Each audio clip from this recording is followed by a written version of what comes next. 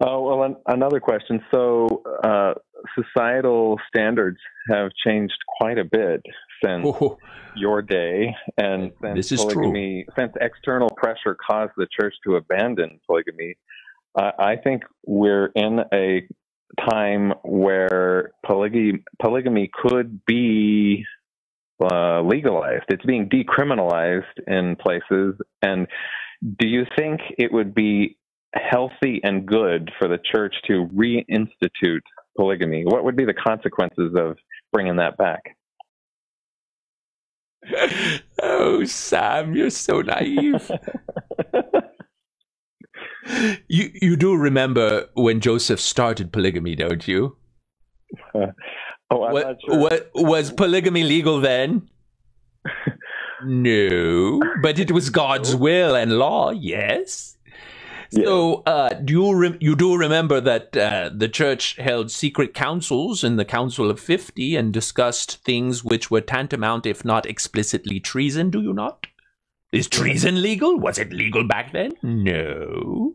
You do know that God's law at all times, in all places, and for all reasons is higher than man's law, do you not?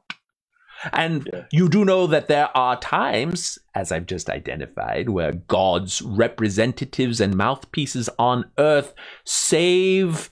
Uh, they, they, they, they, they practice and respect God's higher law over man's law, but they do it in secret.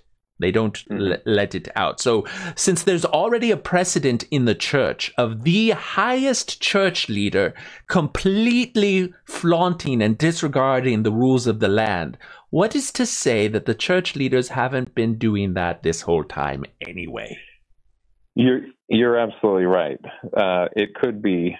Uh, I guess I'm exploring or would like to explore with you what the ramifications would be for bringing it back openly, publicly, and widely practiced, kind of like the FLDS church. They've got a healthy culture and environment, right? If we could just get the LDS church to do that too, do you think it would help bring in new recruits? New like church membership would grow?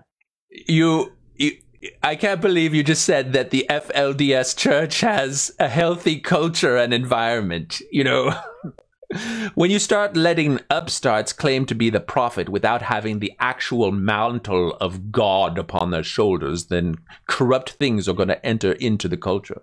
Now, polygamy probably won't be brought back, even if it is made legal, for one reason and one reason alone. Polyamorous people are creeps frankly.